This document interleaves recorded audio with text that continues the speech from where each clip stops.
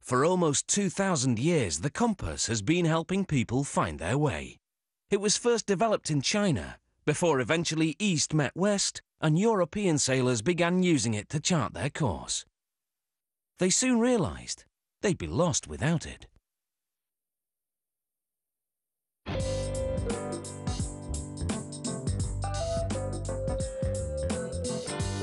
This device is used to magnify a special metal alloy.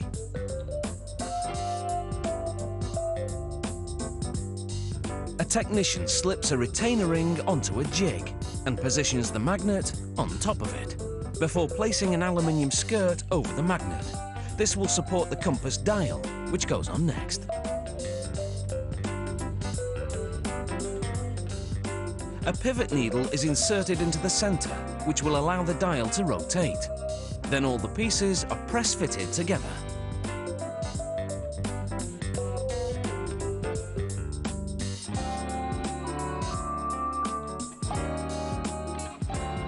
Chemical cleaner is sprayed into the pivot cavity. It has to be spotless because any dirt would impede its function. A small jewel post containing a tiny sapphire is also cleaned. Then the jewel post is fixed in the dial. The post will support the dial while allowing the pivot needle to move easily as it's pulled by magnetic forces. The dial is placed on a machine that mimics the Earth's pull.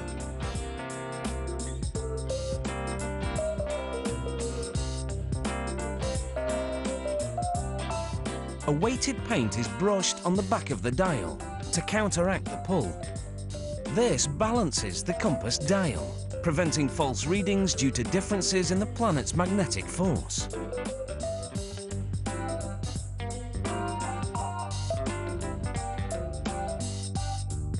These are lubber lines, small direction markers. They're inserted into holes in a jig and lined up with holes in an aluminium gimbal pan. The lubber lines are pressed into the pan. Now, two pins that allow the ring to flip around the gimbal pan are inserted into the gimbal ring. Then the compass dial is attached to the gimbal assembly.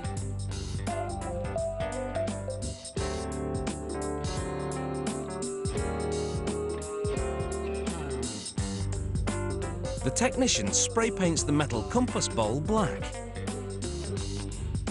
and pops a rubber diaphragm onto it. A bronze ring will hold it in place.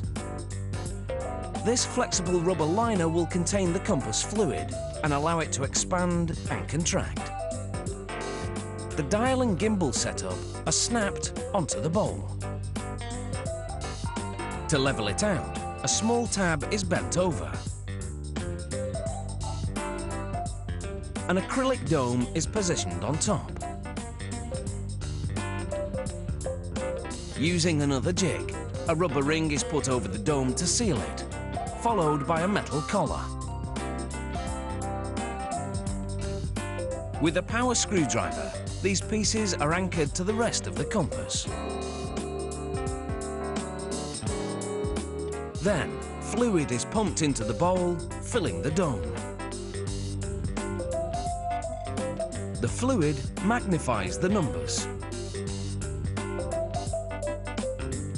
Next, two metal rods are magnetically charged and installed in the compass base. These will compensate for magnetic fields on the boat.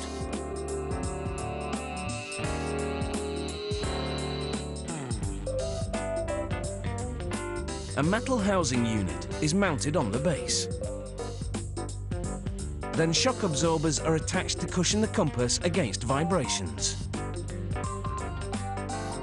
The compass is installed in the housing. Tapping the dome tests the shocks. A decorative aluminium cover fits around the dome. Then a light is installed to allow the navigator to see at night. Iron spheres are attached another tactic to counter magnetic interference. Our journey through the plant is now over, and the compass is ready to set sail.